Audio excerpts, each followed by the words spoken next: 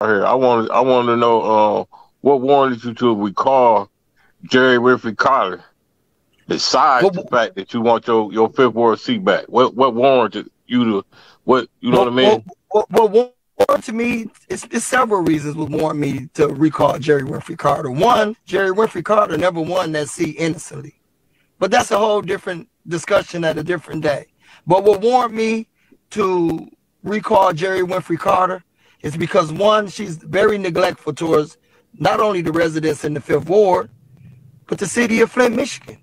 She's done nothing significantly during the years of her being in office to make a drastic change or any change of an inkling of a change in the city of Flint, Michigan, besides being a part of a bunch of chaos and confusion amongst one another down at City Hall during city council meetings. She abstained in voting for the services to be paid that's afforded to the city of Flint, Michigan residents, which is their tax dollars to pay for the services that is needed to move the city forward. Public safety, Department of Water Services, mm-hmm.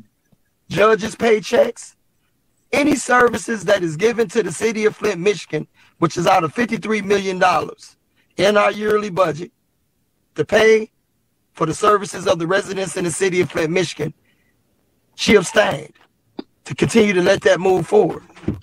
Today right here. I wanted I wanted to know uh, what warranted